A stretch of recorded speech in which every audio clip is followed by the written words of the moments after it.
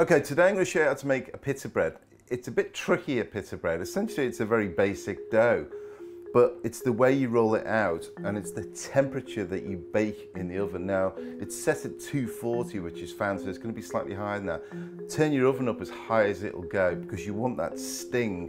When it hits this raw dough and it's flat, it'll blow up and that's what we're expecting in a good pita bread. In the bowl, I've got my strong white flour, into which you're going to add some fast action yeast, to the side.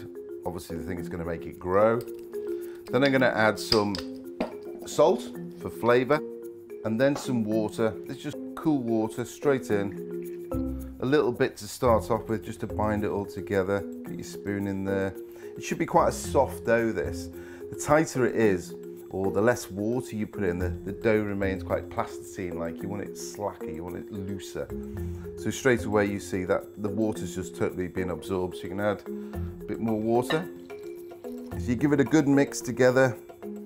And then once you see that it's starting to form a dough, best thing to do is get your hand in next. The best thing to feel a dough, you know it when you put your hands in.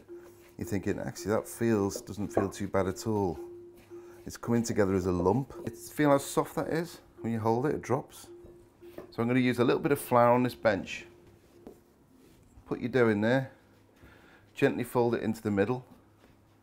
Feel how loose or slack or wet, soft this dough is. You can afford to add a little bit of flour to it just to tighten it up a little bit, stop it being as sticky. But you see how quick it breaks? And then massage the dough.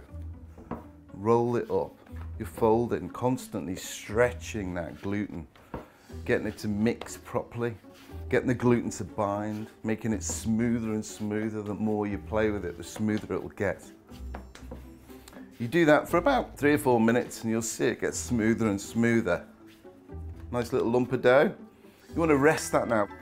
If you don't cover the dough, what happens is the air around your kitchen or if you're going to leave it in a breezy area will create a skin on the dough and it just stops it from growing, just that little bit. So you want to cover it up, keep it soft inside, and it will grow.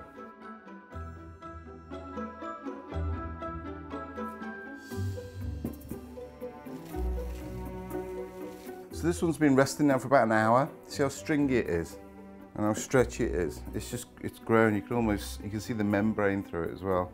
It's nice and loose. So I'm going to grab a little piece of this dough bit like you would a pizza. Just shape it into a round, just using your fingers. Flatten it out. Use plenty of flour, I don't want to sticking at all. Because I'm going to roll it fairly thin.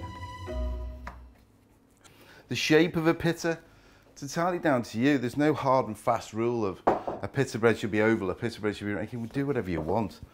I tend to make it a little bit more oval. Thick are you looking at going? I'm going to take this dough to the width of a, a, sort of a pound coin. Think of the depth of a coin, that's the sort of thickness I'm going to take this to. So again, just make sure it's all the same. And once you've got that shape, get your tray ready, pop it onto the middle of the tray and pop that straight into a hot oven and leave it for about 10-15 minutes. Now that has been in the oven for about 12 minutes. And if you look really closely, it's got a bit of color on here and here. It's just off-white. And that's baked beautiful. It's full of air. So the weight of a pitta is baking on the tray. So that remains still because it's not going to float up. So one base is in there. The yeast has been forced to work. So it's creating carbon dioxide, which then blows the top away from the bottom, creating a pocket. And that is how you make a, a pita bread. Now if I take that off there, so now I'm going to cut this, but I wouldn't normally cut it. Normally you just pile them on the top. I'm only cutting it to show you what it looks like inside. It will crisp up if you do cut it, if that's what you want. Or leave them the way they are. Because of the steam inside the pitta, it softens the lid and the whole thing collapses down. It's hot. There's the opening inside the pita bread. So if you're going to make pitta at home, you can add uh, nigella seeds to this or sesame seed or poppy seed into the dough as well and that creates another bit of flavour. But what you've essentially got is a, hello, Uh, so you end up with a, a gorgeous bread like that, which you can fill with everything. But to serve it with some hummus, I've got some beetroot hummus here, I've got some guacamole. You serve that with the pita bread, and there you go. It's as easy as that.